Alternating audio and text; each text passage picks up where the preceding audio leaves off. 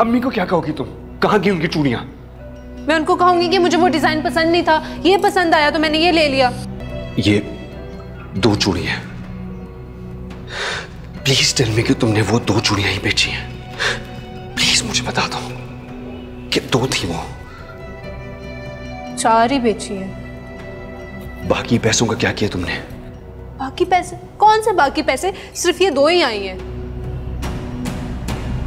तुमने दो चूड़ियाँ खरीदी हैं उन चार चूड़ियों के बदले। यासिर वो चूड़ियाँ कितने पुराने डिज़ाइन की थी? उनको बेचकर ये लेटेस्ट डिज़ाइन लिया यही याद लेटेस्ट डिज़ाइन नहीं है। बेवकूफ़ बनाया पागल बनाया तुम्हें।